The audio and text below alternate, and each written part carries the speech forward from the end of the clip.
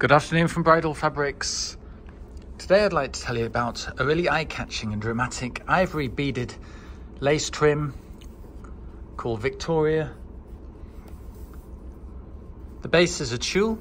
It's got a single scalloped edge and then we've got the cutouts of the floral embellishments.